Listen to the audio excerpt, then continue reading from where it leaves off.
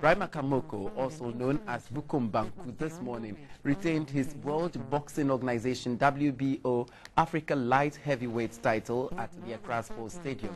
Banku was declared winner after his Ugandan challenger Hamza Wandera retired in the third round of the scheduled 12-round bout. Wandera, who had earlier vowed to end Bukom Banku's unbeaten run and strip him of his title, retired in a bizarre fashion.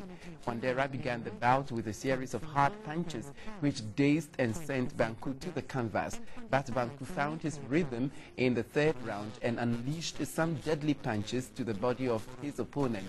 Fearing the worst, Wandera opted not to box again. Referee Roger Bano, after consultations with ringside officials, ended the fight. The win makes Banku undefeated in 23 fights, and it has also positioned him to get a crack at the world title against WBO light heavyweight champion Nathan Cleverly. But the biggest source of energy is that generated by the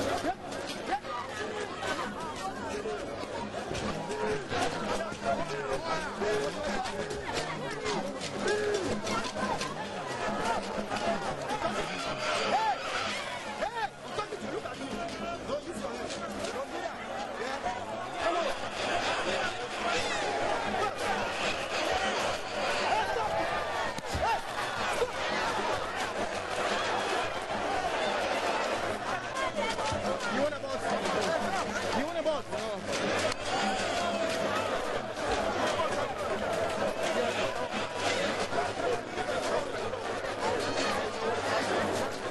You want a boss? That's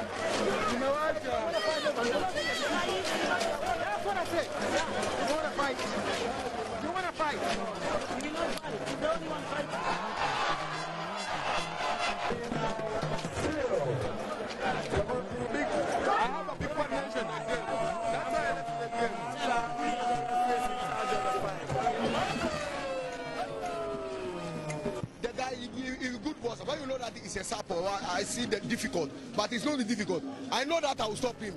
Yeah, he don't have it. Let me say, boss, he, he's tired. He's tired. He know that I'll die him. Yeah, he feared me. He saved his life. I protected my life. Kamak was going to, to, to hurt me more in the ring without without the referee warning him. That's why I had to leave the fight.